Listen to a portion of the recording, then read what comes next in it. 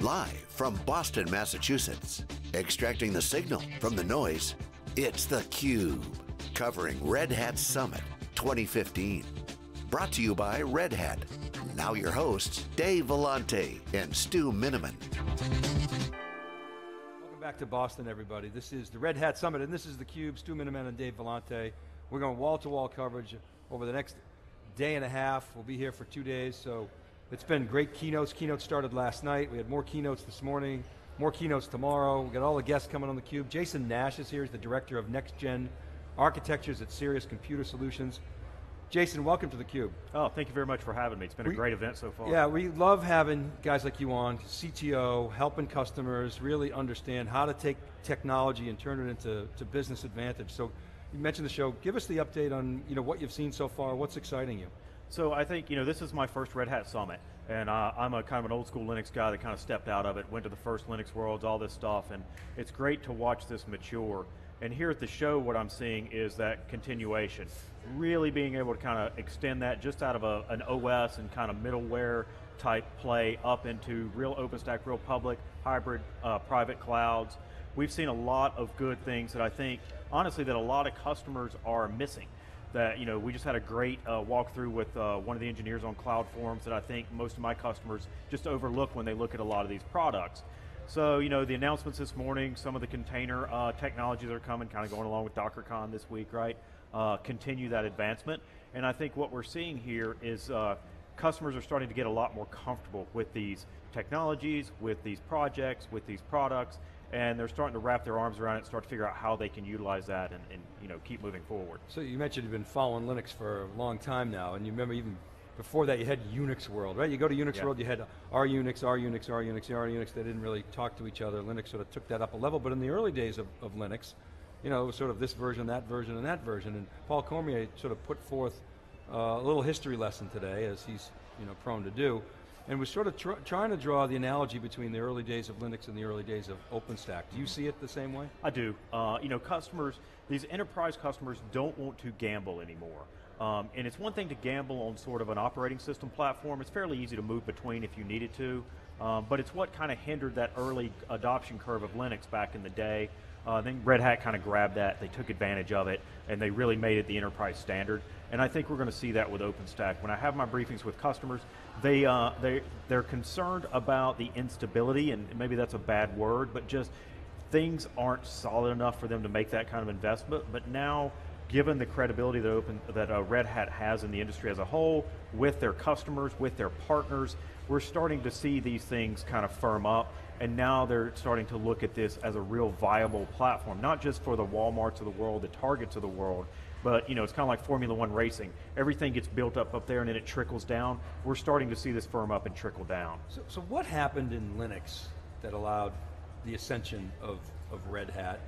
And you, see, you know, you've said you see a similar pattern, but do you see Red Hat sort of emerging as the, the leading OpenStack distro, or is it too early to tell? I think it's, I don't think it's too early to tell. I think it's a little different these days than those days. Now I think they can become the standard because of they've already got the credibility. They've built that up over the last, you know, 15 years or whatever. They've got the vendor relationships and the partners in place. You know, those things didn't exist in the early days of Linux because nobody was making money, nobody really had support and services until Red Hat kind of put that down. Now they've taken what they did, built this up, and you know, if I'm a development team within a customer, I may, you know, I may not be, you know, 100% wanting to do Red Hat and pay Red Hat. But if I'm an executive, I'm a director, and I've got to pin my name to something, and I want to be able to have those support contracts, those, you know, life, you know, go look at the roadmaps, see where things are going, and feel comfortable making this sort of an investment, I think that's where they win. I think that's where they jump ahead of a lot of the startups with their own distributions, and I think that's where they're going to really uh, take off. So everybody's got a distro, right? I mean, right.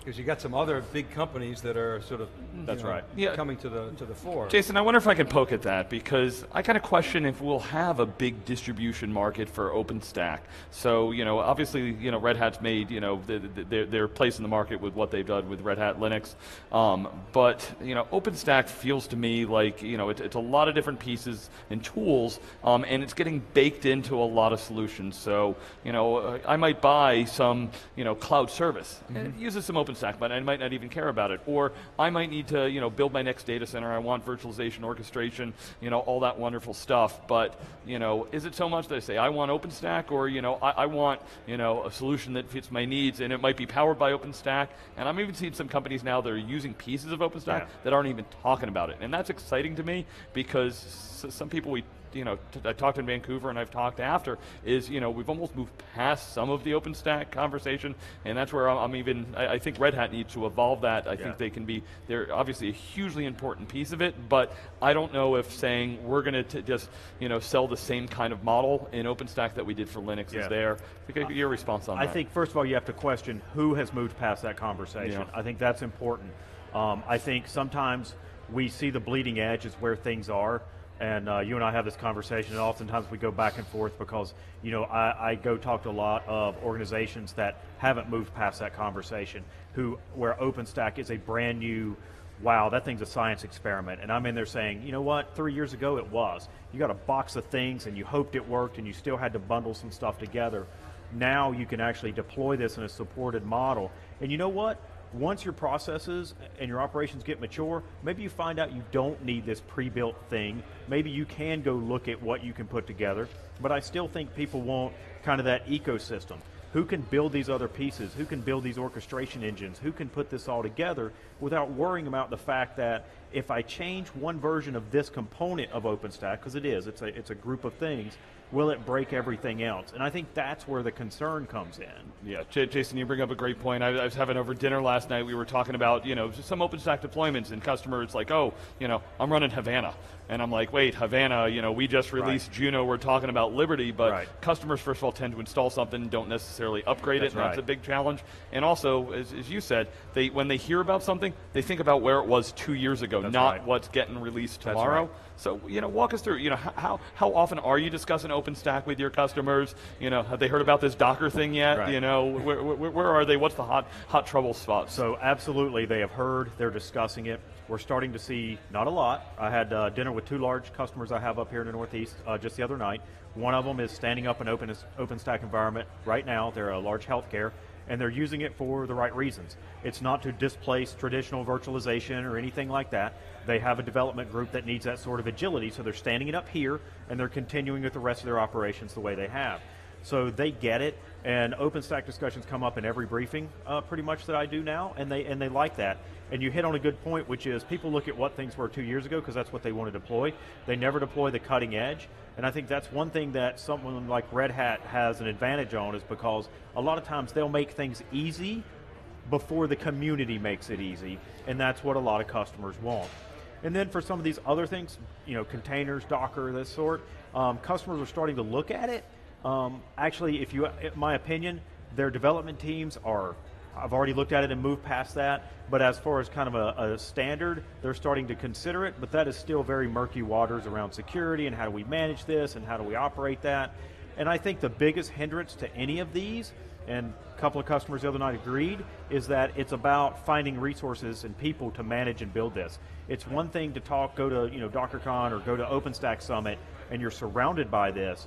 But to go hire people in Charlotte or Atlanta or Norfolk or somewhere and actually build and manage these things, they're not going to do that. They want to be able to lean back on Red Hat or someone else. Yeah. So uh, I'm, wondering if you can t- give us your viewpoint on the on the Red Hat portfolio. Said you know we know we got lots of customers running you know Red Hat Enterprise right. Linux, um, but when you talk about you know virtualization, OpenShift.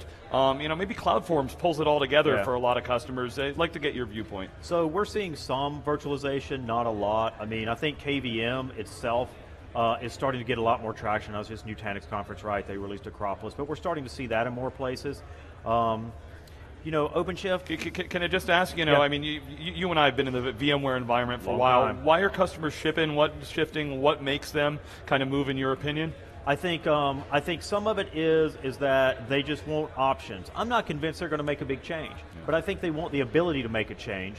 And I think as that bar and the hypervisor eventually becomes truly irrelevant once the features are really there, not just can I spin up VMs, but can I run those legacy apps and do HA, you'll see people want to make that change for, you know, licensing costs and the, and the same old, same old. So I think that's one reason we'll see it. And then I think a lot of times a lot of these tools are getting more complex than they need to be. I wrote a blog post on this the other day where I said I think some of these tools are you know, customers want this much, the vendor wants to talk about this much, and once you get to that low bar, it, you know, your options open up greatly. And I think, you know, CloudForms is a great, you mentioned that one.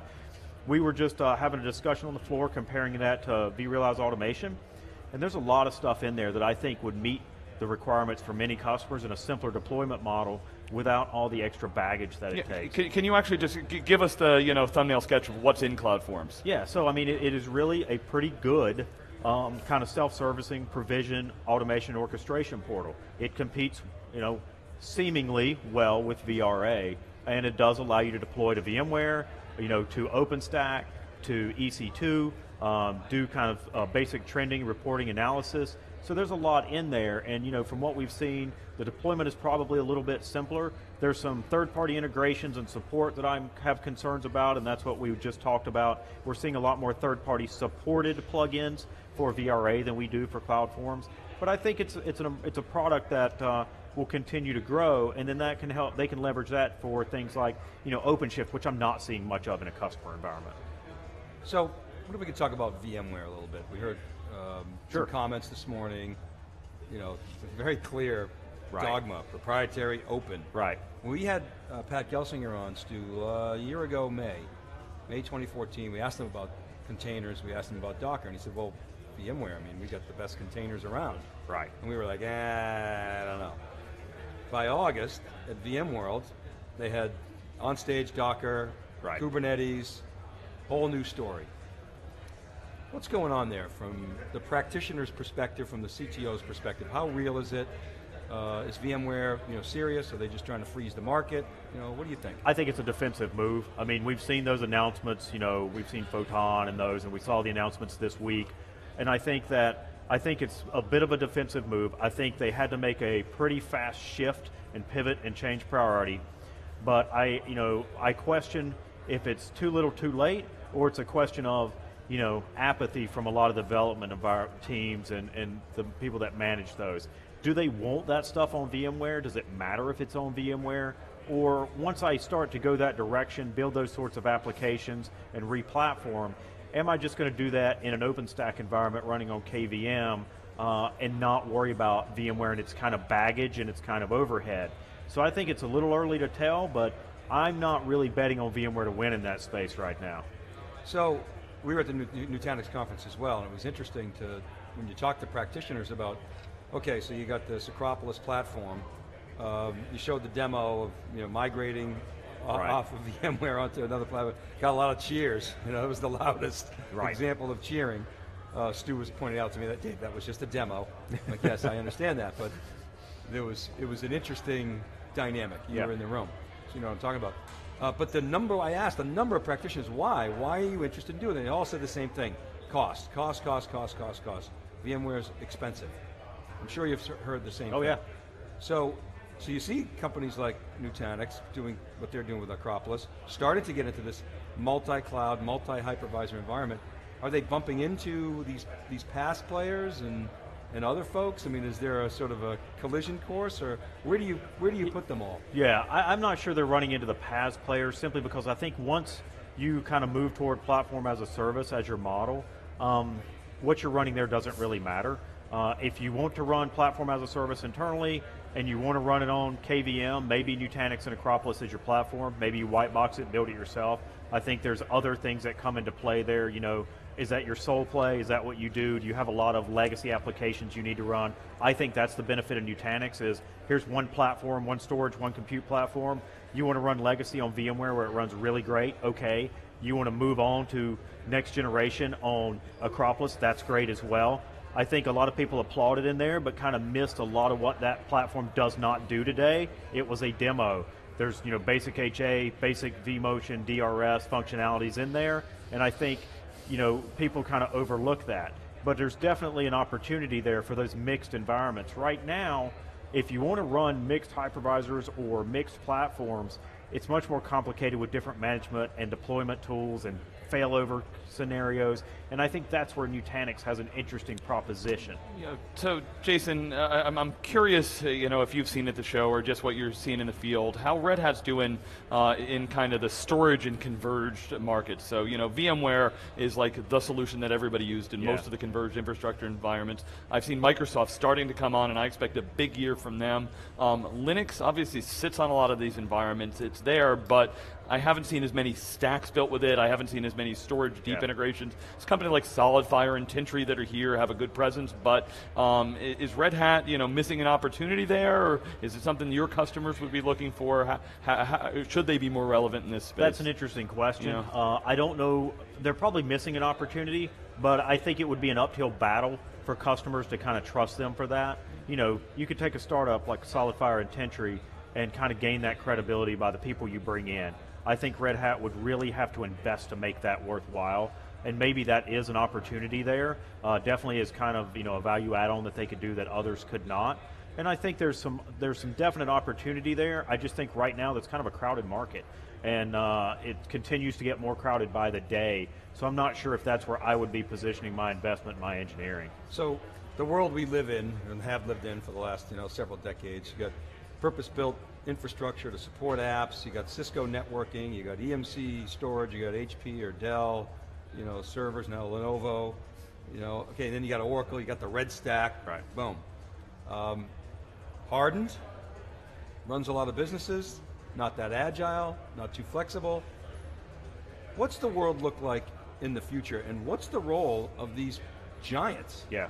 I think everybody is trying to figure that out. If you look at these, you know, the oracles with their kind of their cloud strategy that kind of looks good on paper, we'll see if they execute. You know, EMC is doing the same thing with their acquisitions. Cisco with the same thing with their acquisitions.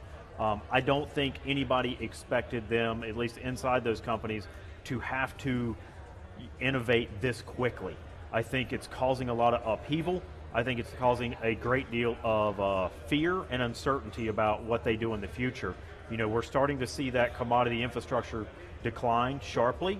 We're starting to see people want to roll all intelligence up.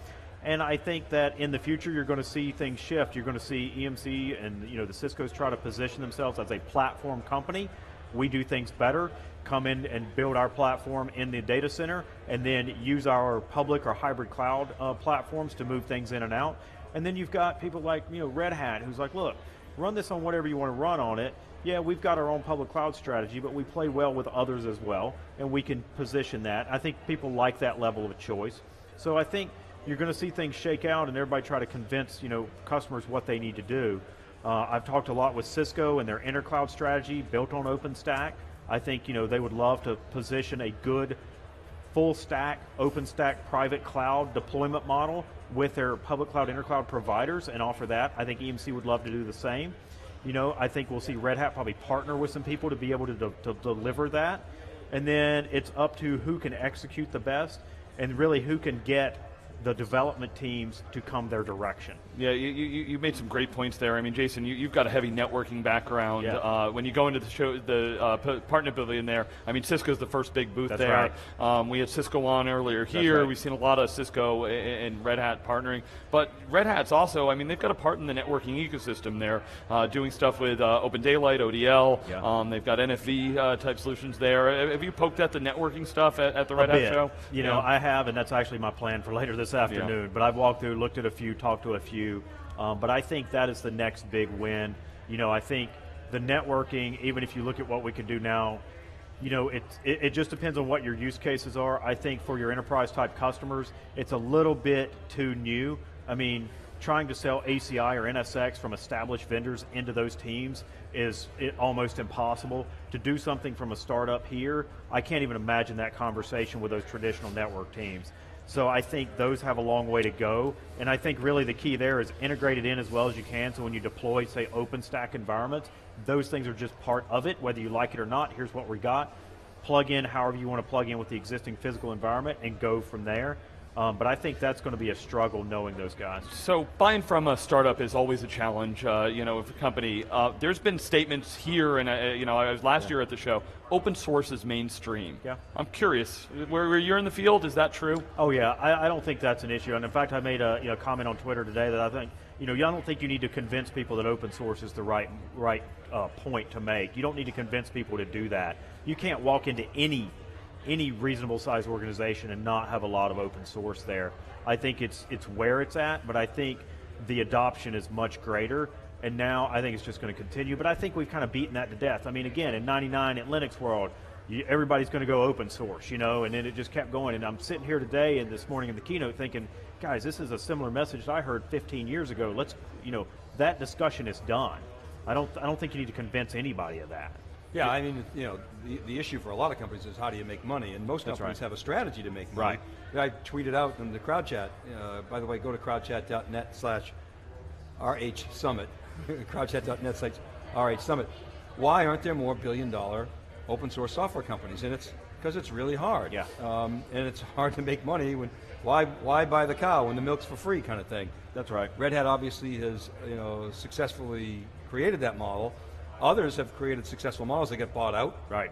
You know, JBoss, uh, Spring.